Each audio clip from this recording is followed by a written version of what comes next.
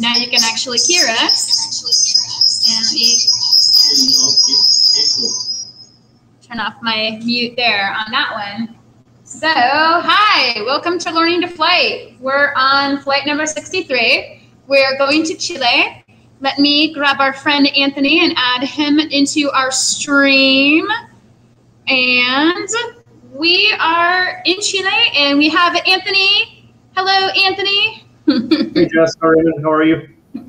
I can't hear you, but maybe, maybe you can. I've got my sound down, so maybe that's why. Can you hear me okay?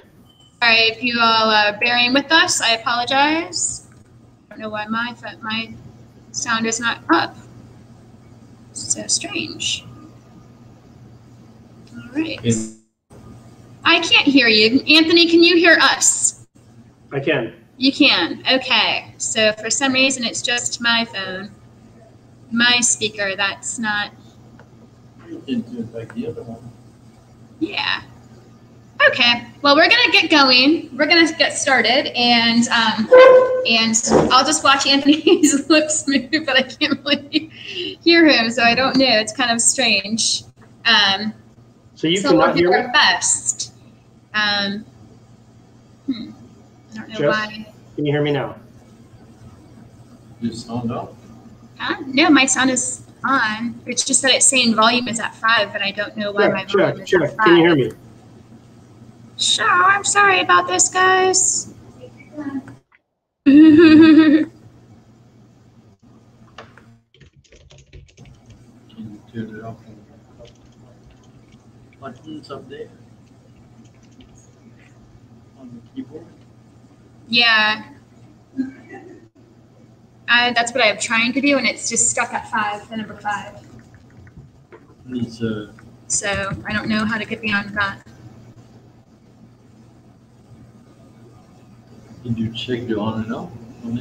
Okay, so we're gonna just keep on going, and um, and and I'm hoping that that you all can hear us. Sarah, can you do me a huge favor? I'm checking to see. Yeah, can you check on Facebook and see if we can hear Anthony? Yeah. Can Anthony, can you talk so we can see if we can hear you? Yes. Hello. Hello. Hello. You can see his his mouth. I can hear it. You can hear him? Yeah. Okay. You can hear me. All okay, right, great. good. So we can hear you. I just can't hear you on my laptop, Anthony. Um, but we Okay. probably don't want the reverb of that anyways, since I'm our film person tonight. So I apologize. This is not what I do on a regular basis. When you guys get me it's because we don't have Tom because he's in Vegas this week. So, and um, yeah, and we're doing things remote. We're still here in COVID land of America, home of the free, and we do what we can as safely as possible, which means we drink a lot of wine together. So, we are going to Chile tonight. We have Anthony with us, and he is um, he is with uh, Chateau Saint Michelle and Antinori, and Antinori is the purchased the property of um, of Haras de Pirque back in I want to say 2001 or something Uh, like that. 2017 when we actually purchased the property, but we've been working with them since 2001. Oh, you can't hear me. Sorry. This is going to be fun. No, it was Um, The sound And- this one? Or is It will- it'll- it it'll- became a joint venture between two families, the Antinori family out of Italy and the Matte family from Chile. It's, it's feedback, so it's giving it feedback. That's the problem. This is going to be this feedback. Jess, uh, can you hear me, Jess? Where you put it on the table? I'm gonna us wine. Let's just pour wine while Yeah. he's talking about it.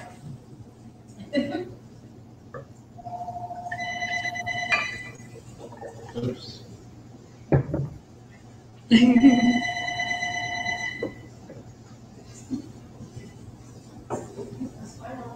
All right. Technology. I know. Sometimes it's good and sometimes it doesn't. Um, so unfortunately, if I if I turn our sound on, we can't. He, we're getting I have the advice from somebody who's watching the flight. Yay. If you stick an ear plug in to your device, you'll be able to hear Anthony. I had an earplug, but the problem that I Everybody else will hear. That's what I then yeah, how about we just not use the microphones? Let's try not use this, Yeah. and then maybe that will work. And you just need to be mm-hmm. loud. I think we're we found a different. We'll see. We're gonna have to have Ra- we're gonna try and not to do the mic with don't have a Raymond. Or we don't and- have the earphones. Yeah, Now Because now. Mike can have sound, Can and you hear me? now I can hear you. All right. So that's all we need to do, Right. Yeah. and hopefully that will work. Yeah, and you can still hear us, right? Okay. Thank you for the idea. Thank you. Thank you for All right. helping. SOS over here, right? What about putting headphones into your phone and listening to the audio phone? Okay. Headphones. I'm gonna try a bunch of different things and do this. Do you need headphones? uh, no, I'm gonna do it this way because we're we're good. We, we don't want to waste any more time on this. We just want to get to drinking wine and eating some cheese and talking and hanging out with Anthony. So, all right. So, Anthony, do you want to sh- play us this video?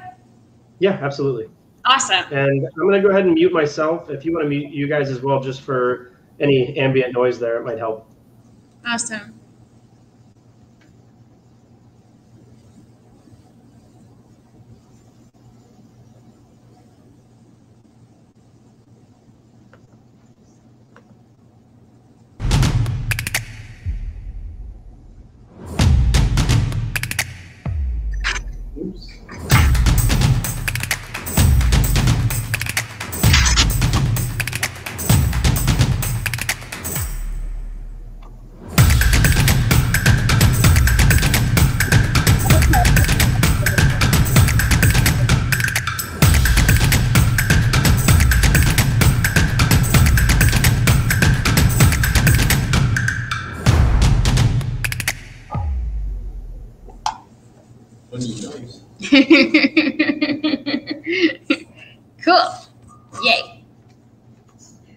Yeah, so I don't know where Anthony went though.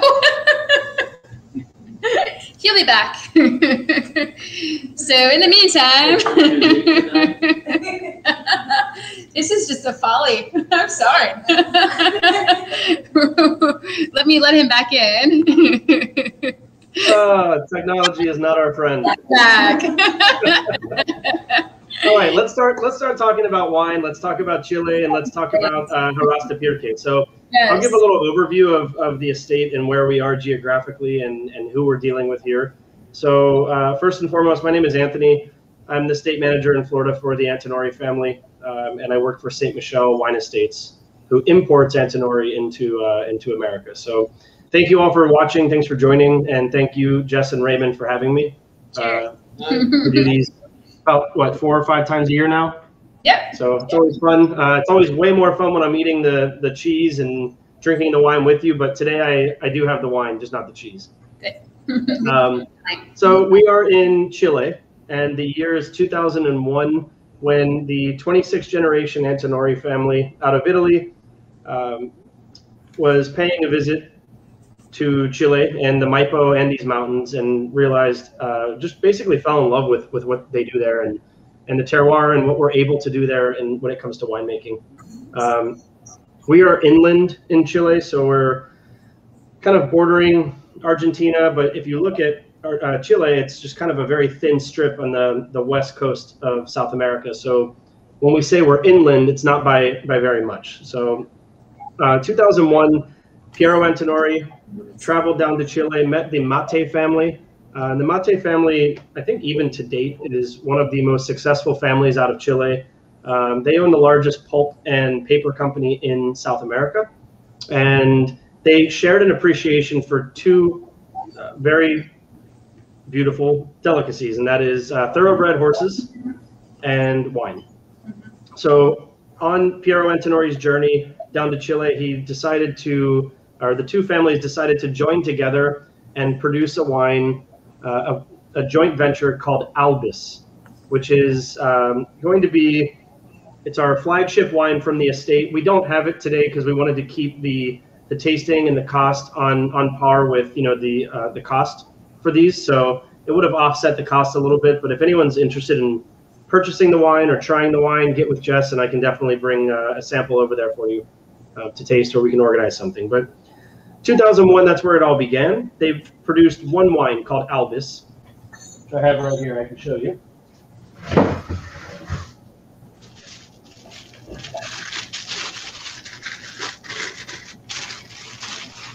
And this is 81% This is uh. Cabernet Sauvignon and 19% Carmenere.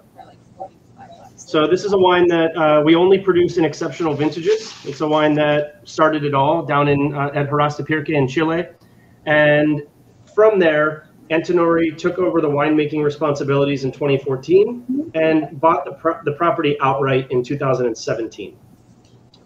Um, we do have a female winemaker, and now we also have females uh, as the 26th generation running the company, the three daughters of Piero. So we're very proud to be a female ran um, organization or, or family owned business. And um, Cecilia is a great winemaker as well. So we, we really are proud of her to, to have her on board as, as our female winemaker. A couple things to point out, and if I can share my screen, Jess, Yeah. just for some, some imagery. Yep. Uh, let's see. You Should be able to.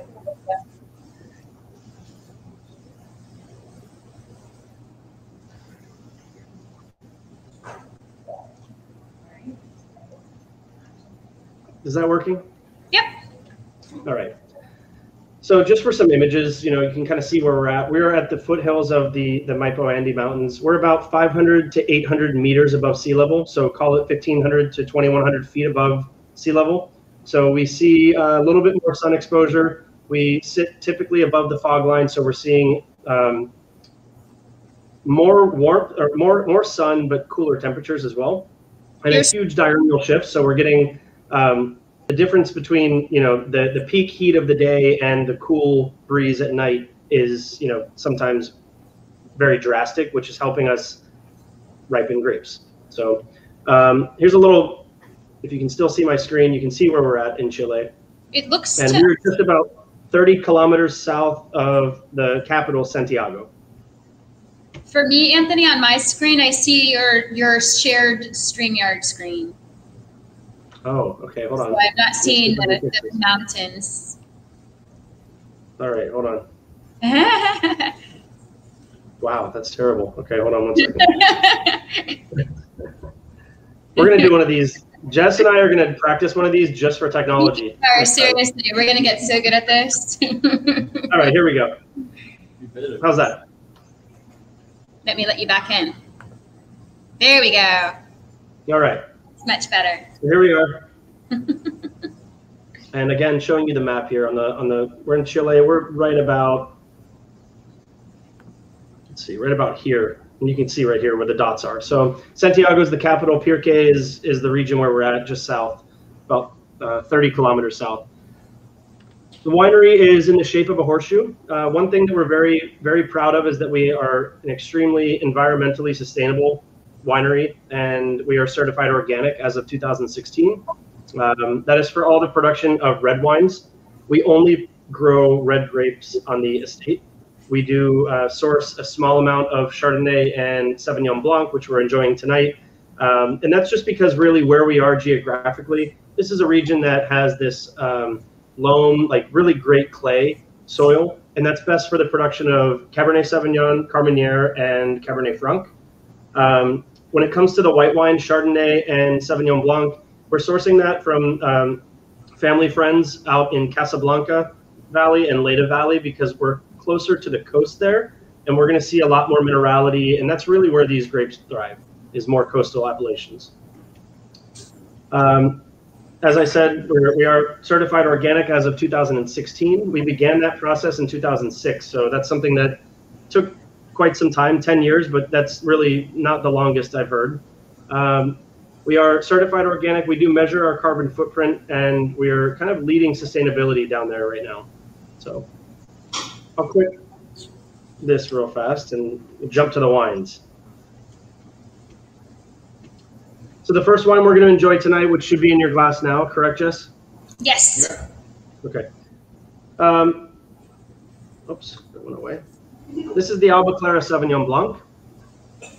Albaclara is uh, it comes from clear dawn, and that's kind of just speaking to the you know the beautiful sun that we see you know in the sunrises in the vineyards. Um, Chilean wines, for those of you that are not too familiar, they're some of the best value-driven wines you can find.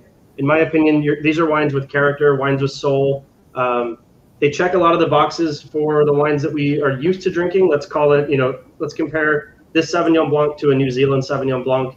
The New Zealand Sauvignon Blanc is going to be much more rich with grapefruit and more strong in the citrus notes. This has some really nice citrus notes, but we get extreme minerality and to me a little bit of, and I say this in a very good way, but uh, herbal and and kind of like a funkiness going on in the wine, which I really love. I I get a lot of jalapeno. Um, kind of like you know carve out the seeds and just the actual Asparagus. jalapeno. Um, and, and some good herbaceousness in the wine, which to me pairs perfectly with food. Whereas if I'm enjoying that New Zealand style Sauvignon Blanc, I can't really go back and forth between food and cheese and grapefruit. Yeah, Yeah. so um, I'm gonna I'm gonna switch your screen off and put Raymond back on. Oh, was that, was that not on? No, it was on that one. So um, so I'm gonna let Raymond talk about the cheese that he's paired now Okay. so um, with the wine. So this we is our wine. What we paired with the, the number one cheese is uh, uh, Beecher's uh, out of Seattle, Washington. It's uh, it's uh, uh, like the flagship, flagship cheddar. Yep. And it's uh, it's uh, one of the main cheddar they make there. It's it's a wild milk cheddar. It's uh, it's aged for uh, I think 15, 19 months. It has a nice creamy flavor from from the wild milk, but it also has a nice uh, Mhm. sharpness to it. Uh, not not not to the point where it really dries your mouth, but it, it goes real nice with the wine. I think that that herbal and asparagus test in the wine is uh, is kind of very complementary with the, much so. with the cheese. Uh, I put some honey too if some of you want to try cheddar and honey usually goes nicely together Mhm. and they'll bring a little sweetness to, to the wine too. But uh, yeah, it's I mean it's made in Seattle. It's very very uh, in demand. I mean everybody all over the state seems to know that cheese, and it's a real nice nice cheddar. Uh, I like to carry that because it's it's not too sharp and it's really a good good product. And we have the little brother of that one also, which is the Marco Polo, which has green peppercorn and black peppercorn, which is nice with some more, maybe with some red wine because of the spice to it. So uh, those are two, two cheese I really like to pair and use on our cheese board. So it's a real good product. Definitely. You're back on screen. yeah, Anthony. Unfortunately, you don't have any cheese with you. But That's okay. I probably have some at home. It's, it's nowhere near as good as uh, as what you guys are serving over there. Some right. Um, you have to stop down afterwards. Um, no, I think that, I was just going to say I think the wine is this is one of my favorite wines. This is um, something that just has a lot of character, a lot of soul, and is, is very different than what we're used to drinking. And you know, like I like I said earlier, and we'll kind of get into this more when we go to the red wines, but these are of exceptional value. I mean, Jess, what do you serve? What do you sell this for as for the bottle? Uh, seventeen ninety nine, I believe. So under twenty dollars, and it's a wine that just I think it's it's very unique. Yep. Yeah. I, for me, it's nice and balanced with the citrus and the savory. It's not, um, you know, I just had some Sauvignon Blancs, one from Australia or from New Zealand, I mean, and one from um, France. And they were very different than, than this one. Um, they definitely like, the New Zealand was like straight up grapefruit, you know, whereas the French one was grapefruit with some citrus and some limestone. But to me, like, this is more citrus, some a hint of grapefruit, and then a, a nice savory component to it that I think balances out that Right. citrusiness and it makes it juicy in a pleasant way. And to me, that's what makes this a better food wine than a lot of the New Zealand Sauvignon I Blancs. think the cheese So- brings a bit of acidity. The And too. we are we are maze aging the Salinity wine. Mm-hmm. Both of the white wines are aged on the lees. So the, the skin, And that gives the, it that the, the, texture. the grape and the, and the yeast cells. Um, so it, that's where we're getting a little bit of that savory, that texture, and that mouthfeel, a little bit more richness than you're used to out of New Zealand, Yeah. uh, which is more of a French technique for sure. Um, and you know, another big thing that I will say is that we have an Italian family here producing these wines, and we we work very hard to not change Chile into Italy Yeah. because you know it's it's very common to see an American winemaker go buy land somewhere else and make this American style, or vice versa. And one thing that our, our winemaking team, Renzo Cotarella uh, and and Cecilia, is that they want to keep it very indigenous stylistically to Chile. It's, so can I try and play the video that I have? Yeah, go for it, please. Okay, I'm gonna try it because they actually specifically talk about this, and I just thought it was a great video, um, and I'm gonna try. I, I- I'm hoping that it will work. We'll see. Um, we shall see. Going off of our uh, technology, I don't know if it will, but I really hope it does. Right? Seriously. Hmm. I just thought that I got back in. We'll try this. Yeah, it's a video of them, um, and it's just they're. I mean, they do a, such a good job, in my opinion, um, with their the film making and just you know they do a good job with their wines. Obviously, um, I don't know why it's not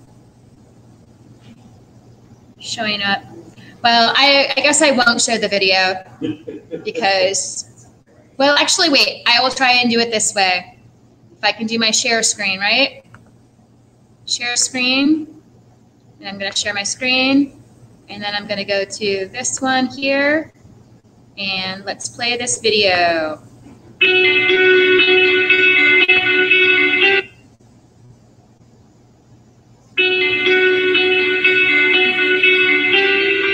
you're not seeing the, um, the screen.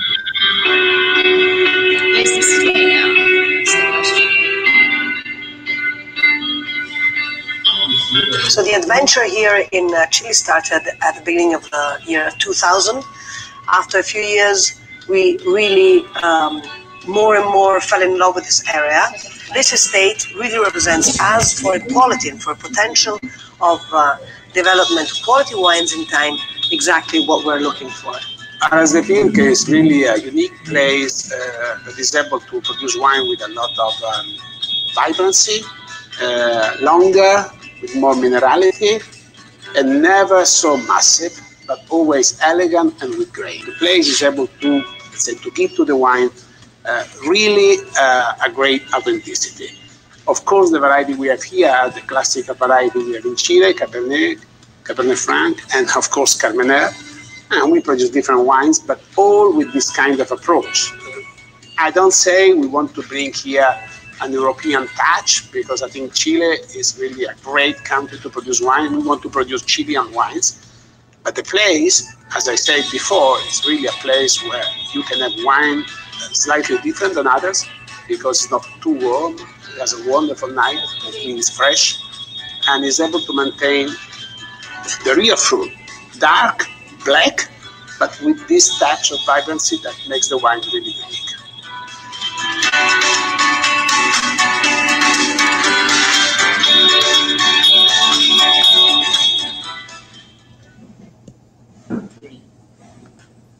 Jess, so I could not see the video on my screen. I don't know if Oh, that's so sad. other viewers. Just watch. You guys just got to li- listen to us. Okay, let me see if I can do this again. Are you kidding me? In the meantime, In the meantime, yeah. those little donuts you have in your kit, Yes. those are uh, So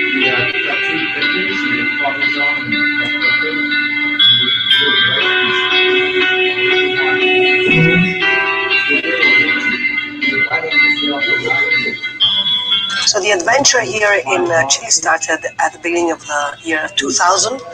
After a few years, we really um, more and more fell in love with this area. this estate really represents, as for quality and for potential of uh, development of quality wines in time, exactly what we're looking for. Haras de Pirque is really a unique place uh, that is able to produce wine with a lot of uh, It's vibrancy, uh, longer, with more minerality, and never so massive, but always elegant and with grain. The place is able to, to give to the wine uh, really uh, a great authenticity. Of course, the variety we have here, are the classic variety we have in Chile, Cabernet, Cabernet Franc, and of course Carmener. And we produce different wines, but all with this kind of approach. Yeah. I don't say we want to bring here an European touch because I think Chile is really a great country to produce wine. We want to produce Chilean wines. But the place, as I said before, is really a place where you can have wine slightly different than others because it's not too warm. It has a wonderful night, it means fresh, and is able to maintain the real fruit, dark, black, but with this touch of vibrancy that makes the wine really unique.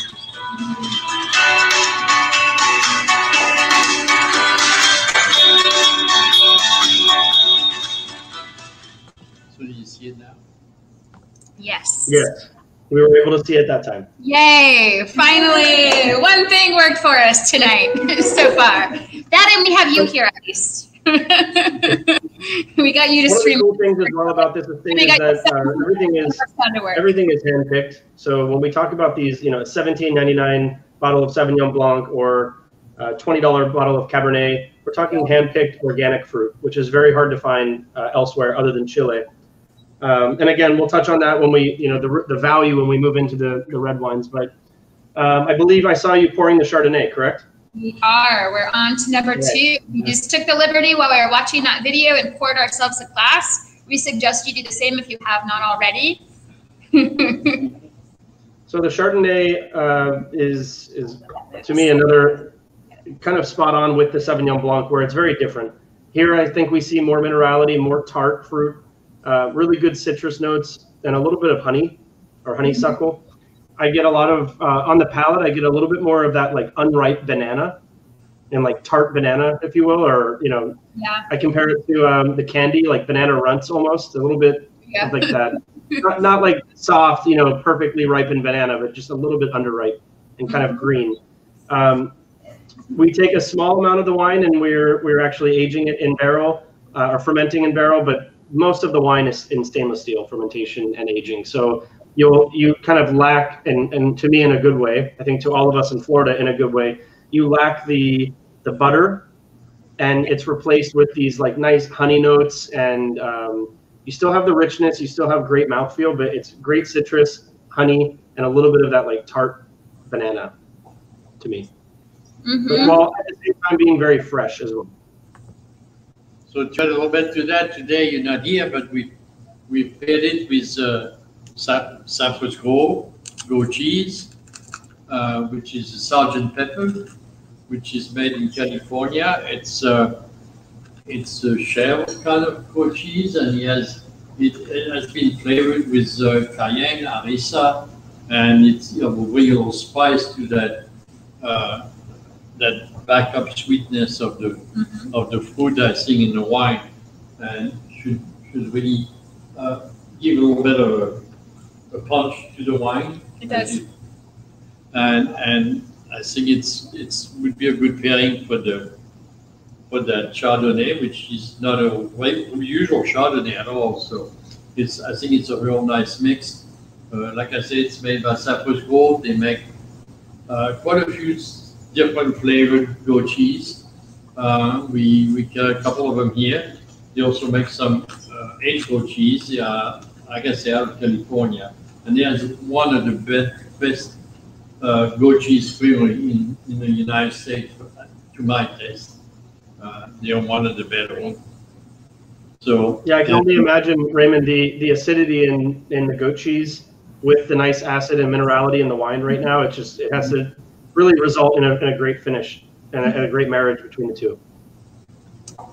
It's also nice to have that. You, you actually that little bit of spice in the cheese get does get picked up on in the wine, and it does pop the wine out. In my opinion, there's it pops the acidity actually out and the minerality in it more.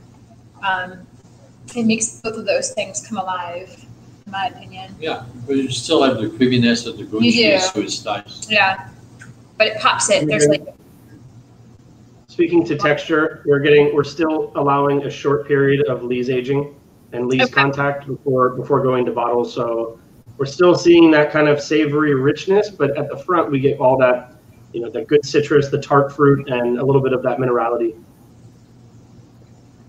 Mhm. So do you guys have guests in-house tonight as well? We Or do. is it, yes, we do. We have we have Desiree and Angie and Alex and Alex Desiree and Alex tonight. very cool. us as well. And then we also have some guests joining us virtually as well on Facebook. Um, I did see that Tom did say Happy Wednesday from Vegas. So, hello, Tom. Tom's with us even when he's not. I know, right? Yeah. I look forward to him really learning StreamYard. All the fun. There's a, there's a lot of fun to, to it though, but I just need to uh, I need to learn it better when I he's not here. So, but yeah, we are enjoying um, we're enjoying the pairings and we we enjoy. So this is a this is a wine that we've tasted a lot of these wines with Anthony over the last couple of years, and we always go back to this winery. I feel like because it's just they do good, a good solid job of making wine. So Yeah, and they have, they have uh, their own personality. they do, Yeah, wine. yeah, they're. It's not, it's not They're very French, it's not an. Italian, it's a Chilean. That's Yeah. it. It's very, very different. It's where you get that true terroir driven, not just saying it, but you could actually taste it. Definitely. And and when we come when it comes down to price point to quality, you know, I Oh, always say like to find a wine of this quality or the or especially when we get into the reds, uh, in my opinion, to find Yeah. wines of that quality that are handpicked organic fruit from let's say the New World or France, even or Italy, really, um, we're talking dramatic, probably fifty percent less on the shelf than than what we're dealing with here today. Yeah. So I'll, I'll start talking a little bit about the reds and um, and kind of the red grape because that's what we do on the estate. That's what we grow on the estate. Um, but we can switch. We've got our glasses, so we can pour our red too.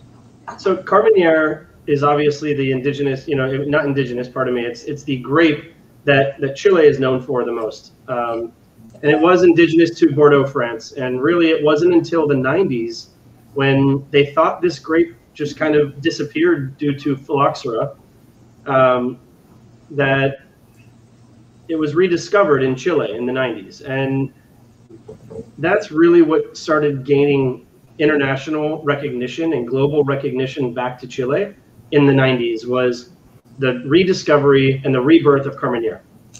Um, we're going to have some Carmenere in both of these wines. There's a small amount in the Hussonet. There's about uh, 25% in the, the Reserva de Propiedad, so the red blend. Um, but it wasn't until the 90s when they rediscovered Carmenere in Chile, outside of Bordeaux, France, that people realized that uh, they call it the lost grape of Bordeaux. So the Bordeaux varieties, we have Cab, Cab Franc, Merlot, Malbec, Petit Verdot, and this would be the sixth, you know, that they say is the lost grape of Bordeaux, but it was found in Chile in the 90s. And that's when winemakers and tourists and wine drinkers all started navigating to Chile. And it's one of those things where really we're, we're starting to see at this time more and more people gravitate by land, and um, and today we've still held on to a tremendous value in the wines, and um, probably the land not so much. I'm sure land's gotten a little bit expensive now that everyone's recognizing Chilean wines again. So I would say pre 1990s, it was mostly Chilean individuals who were enjoying their wines. So we'll move into the uh, the reds. Um, the Reserva de Propiedad is our proprietary red blend on the estate.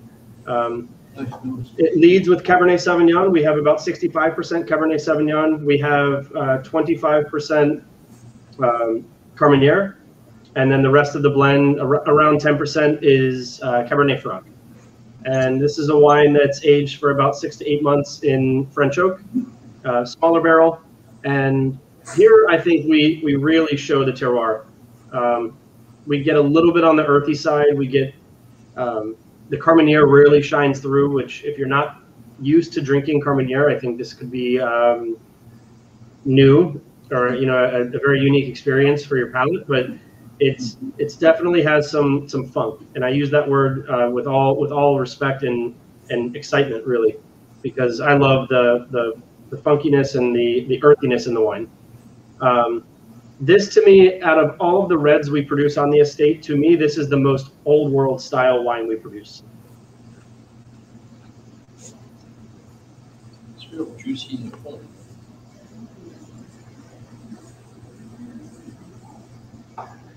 So, to, to, to pair with that beautiful Carmenere wine, uh, we have um, a cheese out of Spain. So it's uh, it's a goat cheese. It's similar to um, you'll be finding it easy in the kit because it's got that red wine on it, like the red wine we're drinking. Uh, it's because the cheese, when it's made, is uh, soaked in red wine they actually uh, uh, put some holes in the cheese so the wine can also get in the inside. That's why it looks a little bit like marble. And, and it's, it's soaked in red wine for a couple of weeks, so it's developed that, that fine on the outside, which is kind of purple. They also developed that wine taste, just Spanish wine. Uh, it's made in the area near Murcia, so they they soak the cheese for, like I say, two weeks, and then it, it just ages in uh, in the creamery. Uh, it's a it's a goat cheese, so it has a very uh, goat milk is a lot creamier in a way than than cow milk or sheep milk. So it's got that, that creaminess into it, but it also has a little bit of that funkiness from the goat, goat yeah. milk. So uh, I think it'd be a this one being kind of funky, it's kind of nice to have funky mm-hmm. cheese to go with yeah. it. And, yeah. so I hope you enjoy the cheese. Uh, it's called uh, Vino de Cabra, which means uh, wine of goat, basically wine from the goat. So yep. uh, it's it's very similar to uh, to drunken goat uh, which which we've carried before, but drunken goat is just soaked in the cheese. I mean, in the wine, but yeah. it's not it's not infiltrated with the wine, so you only get that flavor on the wine, but not through the cheese. So uh, that's why we brought this one in because there's a little more of the wine flavor imparted to it. So uh, we carry it here. So if if you cannot find it, you can find it here always. So to, to the guests that are that are actually in house, because I, I can see a response there. I don't really see anyone else that's streaming, but um, what, are your, what are your thoughts on the wine? And, and I don't again like I don't mean funky in a bad way at all. I just mean earthy. I guess that's really the word I, I should be using. No, we were trying to look for the word because we're like, there's like a little I always call it like garrigue, you know, like that cellar, that musty cellar kind yeah, of. Like that you're not quite sure, but it just it kind of like brings you to that musty cellar. If you've ever been to an older winery. yeah. And once you've gone once, it, I feel like you then get that smell and you can't get loose of that smell. And that to me is kind of like what these all have. So that's what they were saying is I don't know if you could hear them, Anthony. I could, yeah, yeah. Okay, good. Thank you. It's always good to get feedback. You know, these ver- we have to the virtual things. We have to learn how to uh, stare at ourselves talk for an hour and a half. You know. So, yeah. So I wanted to put this out. I think I think seeing the the bottle is very important for for everyone at home drinking, or for even for you guys. You know, so that next time you're at Must, and if you like the wine, you can obviously go in and grab a bottle. But um, I again, I, I couple things to highlight here is that this is these are the three red varieties that we that we are three of yeah these are the three red varieties we produce on the estate. Um, so you would call this the house red, and what I mean by that is just literally we produce three red grapes on the estate, and they are in this bottle. Um, and that, that's kind of our and again for 17 18 dollars i think that there's quality here that's really um, hard to find elsewhere then the, for me, the cheese has a little bit of a sweetness to it mm-hmm. that you get right before you taste the wine, and then you taste the wine, and it actually it makes the cheese savory and pops out the savory notes of the wine. I thought I so, which was interesting. I wasn't expecting that. I was I was thinking it was actually going to bring the wine out of the cheese more, and then it didn't. It did kind of like the reverse, where it's more like the, the cheese brought the wine out of the wine. And I The, uh, the Carmenere and the, the Cab Franc have some spice they going do. on in the glass. So, so it's, you know, without, without food, and I can testify because I'm here without food, but um, it definitely has like some good spice, which, you know, again, why I say old world, I think like it has that similar spice to like a Chianti Classico. Yeah. Without, obviously, it's we're talking Cabernet, so we're a little bit more on the meaty side, but um, I can imagine with a good cheese, it'll ta- it'll tame that spice. Tony, Yeah. Tony doesn't know, but we also have some nice French olives with that, which has a better hardness to that. yeah. Then add to the That herb. pepper, the Mhm. pepper flavor and hmm vegetables. So, And they go really well with the with this particular wine. Mhm. The reserve definitely, like the house, that that that this is definitely goes great with the olives. Use my finger this time. Yeah, as opposed to any other time. what you don't see. Right? no, but this is So delicious. when we get to this um, this herbaceousness and this vegetal um, structure and characteristic in these wines, starting with the Sauvignon Blanc and especially in the Hussonet, our Mhm. Grand Reserve Cabernet, which we'll move into, um, we are the property in, in this region is heavily planted with myrtle. So these myrtle trees are, are really giving a balsamic character to the to the soil. Um, if you think about it, this, these have been planted there for hundreds of years, and obviously it's you know it's kind of regeneration and it's it's really giving back to the soil as well. Um, and that's kind of what we're seeing in the wine here is that we're going to get this really strong herbaceousness and um, green balsamic note in the wines. And I think you'll definitely be able to pull that out when we get into the, the Cabernet. Anything on the olives with that? Oh, the olives go spot on with this one. Yeah, I think yeah. definitely. fantastic. Yeah, this is definitely an, um, yeah. I think that I think I liked the, the olive because he put an olive on my. You, what you couldn't see behind the bottle was that he was he was handing me an olive to try the olive, the herbed olives with this particular wine, and it, it just is fantastic pairing together. So, yeah, Yeah, Mary Mary just commented she loves the red and the goat. olives are better.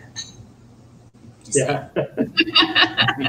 I like the olives. Yeah, I do too. Again, without without stopping down to must, I would be having like you know some some American slight uh, craft cheddar, and I'd have some black olives in a can. So I don't really want to go there at home. yeah, not quite the same. I'm kidding. I don't have either of those things up here. But, um, so um, we just whole into the 2016. Yeah, I was gonna say that too. That this is a 2016, folks. Just so you know. Right. So, and, and that's that's a big thing to, to call out here is that we are in the southern hemisphere.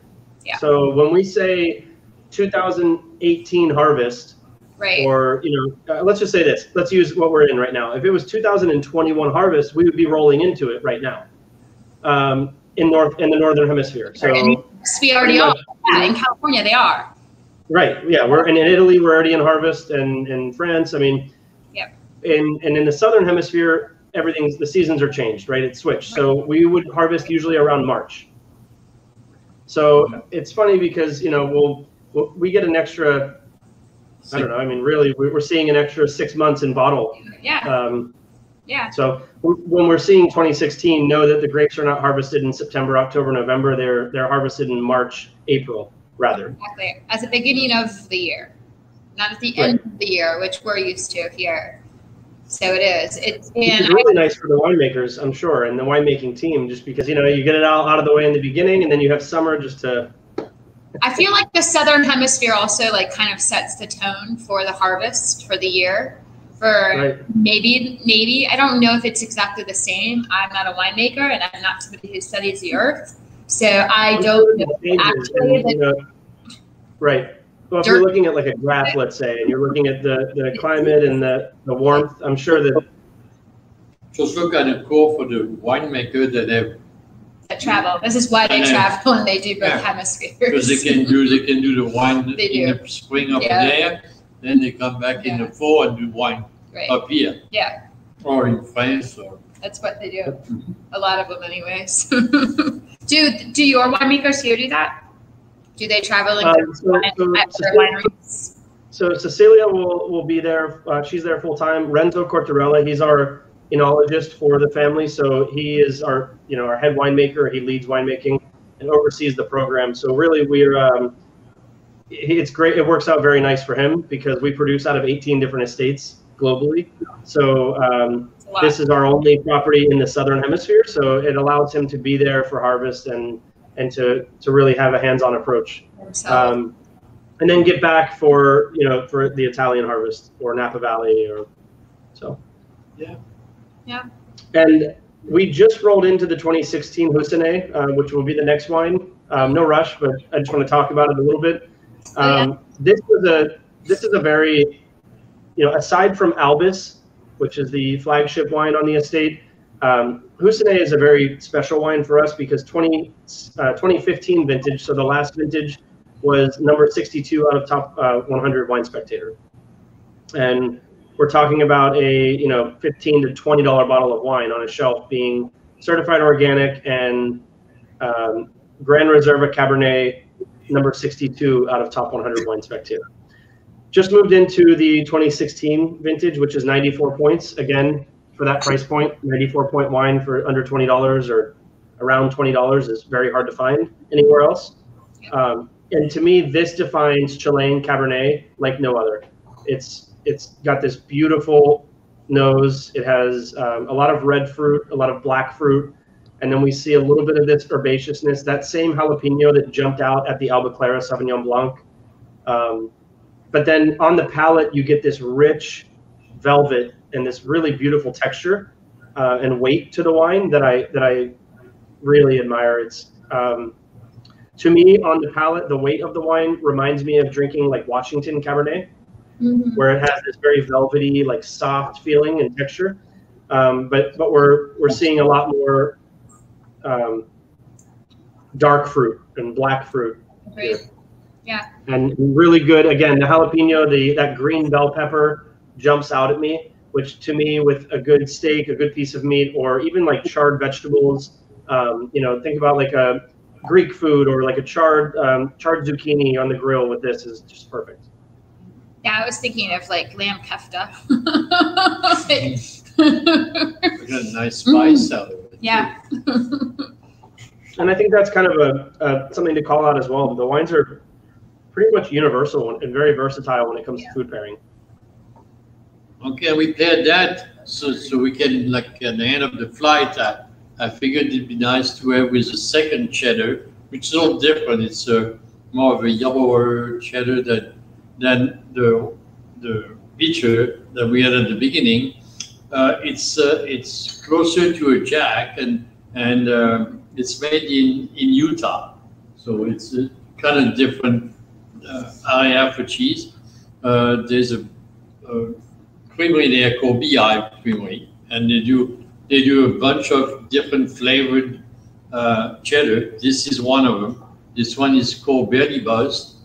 Uh, the reason it's buzzed is because it's rubbed the the, the rub the cheese with a mixture of uh, lavender and espresso, and uh, so that, that so there would be that note of, of coffee, Yeah. chocolate coffee kind of thing would be good good with a wine.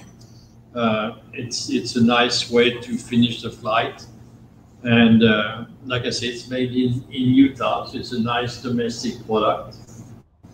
And uh, I hope you enjoyed that. We have uh, we saw the almond in between, so you can enjoy that too.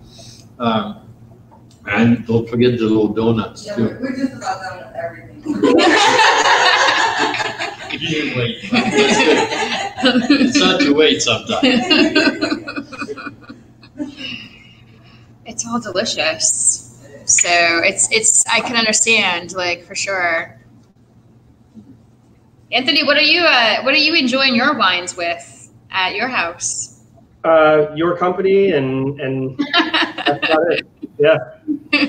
I'm actually very surprised my dog is not. Uh, I was wondering why we up. Yeah. your dog yet. Every time I do one of these, my dog makes an appearance, and he's he's being very very well behaved. So I shouldn't I shouldn't jinx it. Um, but no, it's it's uh, you know the wines, and that's another thing about these wines is that they are they are excellent with food, but I, I think they drink well on their own as well. yeah, like we agree. Um, we agree. So uh, the whites obviously much more fresh, mineral, you know, crisp. Uh, when we get to the reds, they're a little bigger. They do see oak. They are a little bit more on the bold side. But to me, I think Hussonet is just the perfect representation of Chilean Cab and Carmenere. Uh, there's a small amount of Carmenere in the blend, and it's just a kind of a, a staple for Chile. But I think that there's a quality here, and they've really, with the past two vintages, 2015 and 2016, we've really refined the herbal and um, kind of green notes where they're still very prevalent they're there but they're not taking over the you know the fruit Yeah, Those, this is like kind of real nice smooth tannin too. very smooth tannins. They're smooth, they're fine, and they're they're nice and silky. Like when you were when you were talking, I had my mouth full of the wine, and you were talking about the mouthfeel of it, and I was trying to do this like to explain like that's exactly how it feels like when it's going over your tongue. It's just very nice, like it's a welcoming Right. feeling. It's just yeah it's kind of velvety like very velvety and, very and velvety, to me i think that when, when we talk about and when we talk about pairing these wines with food i mean it's the same thing to me with like new zealand sauvignon blanc and a lot of what's going on in california with cabernet. I think that it's just too much fruit too much citrus too much red and bright. Right. where when I'm eating, a, you know, whether it be a, a vegetarian meal or a piece of steak, I, I think that we want a little bit more refined fruit, integrated tannin, and, and more velvet in the wine to, to not take away from what we're enjoying. Agreed. And the Sauvignon is great. I mean, I love that asparagus flavor to it. Yeah. It'd be great with like the old Veal Oscar they used to make in the seventies. meat and, uh, That would and be. the asparagus and the hollandaise. Well, you can That'd be just make it for us now in, you know, 2021. Yeah, it's just Bring it throwback. back. It's a throwback. It doesn't have to be. we can make all sorts of fun things. Uh-huh. Yeah, yeah. But these are Yeah, definitely. we should definitely do a, uh, not to call it out on air, but we should definitely do a, a formal wine dinner at Must Wine Loft when you when you We open the new yeah, Yeah. when you open the new spot. Yeah. I'm ready to, to see Raymond's full potential. Well, Raymond is retired, but he'll join us for events probably Yeah. for these kinds of dinners because that's where he likes he likes to get back into the kitchen from time to time. Well, Oh yeah. every He's in the home. kitchen every day at home, but yeah. what I mean for here. Like he's Yeah. not you do not find Raymond here on a regular basis at Must working back in our kitchen.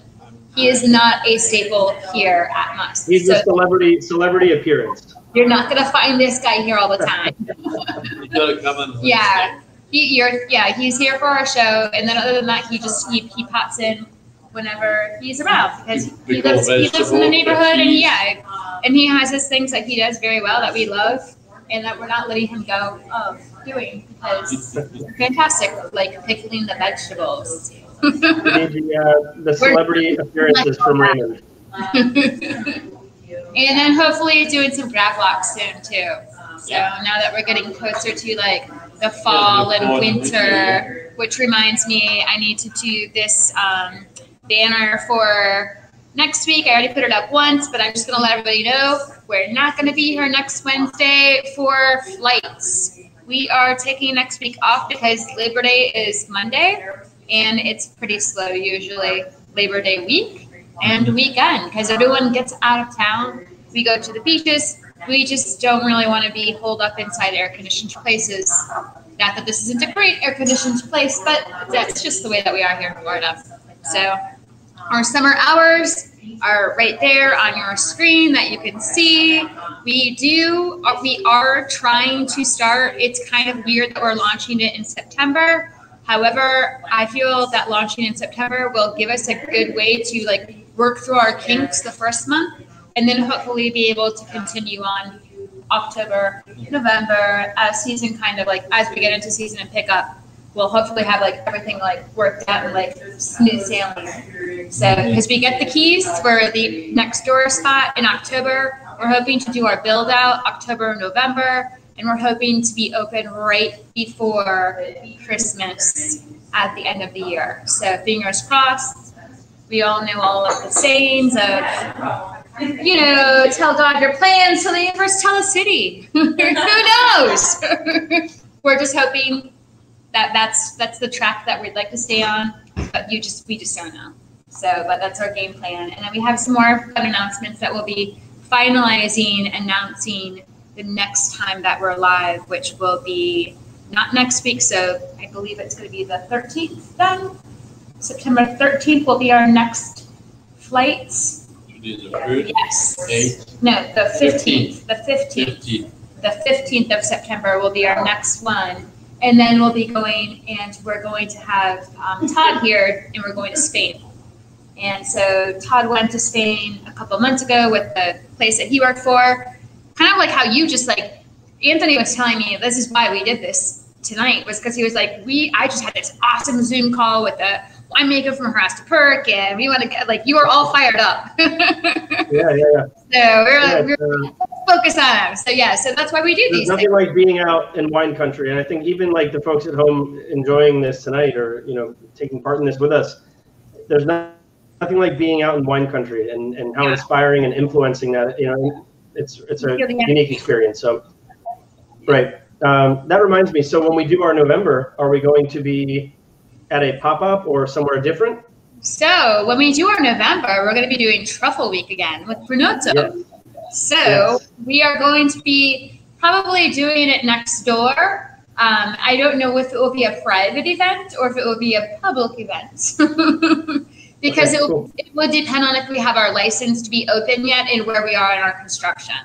So we'll see how that goes. Um, either way, we'll stream it, you know? So, but yeah, that's kind of like how these things work, whether they're private or public is really like what you can do, um, Yeah. what you can do legally with, you know, like understanding like you don't want to hurt anyone. I don't, we're not going to invite anyone into a, like a, a space that's under construction that's dangerous to be in. You know, like Right. we won't do that. We would rather like go someplace else or just film it here. Um, have a small Especially with, especially with wine involved. event. Exactly, exactly. so yeah, so we like to get creative. Um, we work with a lot of different venues as well. We do a community spotlight um, where we work with local museums and nonprofit organizations. And we kind of, when we do that, we invade their space. We go and we literally bring our boxes of wine glasses and all of our boards and our stuff, our coolers, and we set up and we come in and they've they've pretty much like got the tables and everything set up for for us and our our participants. And everyone comes and they pick up their flights here at must and they bring them there. Um, the people who are smart on this in my opinion also bring their picnic cooler with them so they can literally just put their bag in their cooler at their table and pull their wines out as we're going through everything. But that's kind of like what our community spotlights are is our pop-ups. So if we need to do that for that event, we can do that. We have options. The fun of it, and we, look forward to it. we like being creative. So Yeah, it could You be know fun. Yeah. No one can have a bad time with uh, with truffles and Barolo. So I think seriously, truffles and I, wine. Maybe. I appreciate you guys having me on. I hope everyone who's watching enjoyed it. Um, True. and and I look forward to when we can do this again in person and uh, and wine dinners in person. So I hope everyone enjoyed the Chilean wines and learned a little bit um, the wines this evening and the cheese. Yeah. Yeah, I'm gonna check and see if we have any more comments or questions. Yay, Harold. Thank you, by the way. Yes, so Harold and Felicia have been joining us, and they said one year strong of us enjoying your show from North Carolina. And we so appreciate that they've been doing the show from North Carolina with us. They discovered us through like missing going to their wine tastings in their hometown. And so thank you for joining us still. we appreciate you cool. guys. And Anthony, we're, we're, we always enjoy you virtually or here in person. So Thank you both. Thanks, everyone. I really appreciate all of your attention and uh, Very enjoyed the much. wine. Yes, thank you. So we'll see. We won't see you next week. We'll see you the following week, and I'm going to keep working on my homework of getting better at driving two cars at the same time. see you Oh, later. Tom will be back soon, right? Huh? Tom will be back soon. Tom will be back. He will. He will not be in Vegas. I think. Yeah, this weekend. We can't we can't lose Tom to Vegas. We need we need Tom back here. He'll All be right. back. Thank you both for having me, and and thank you everyone at home.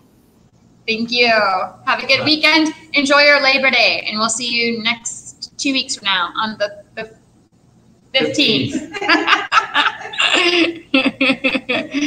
We're out.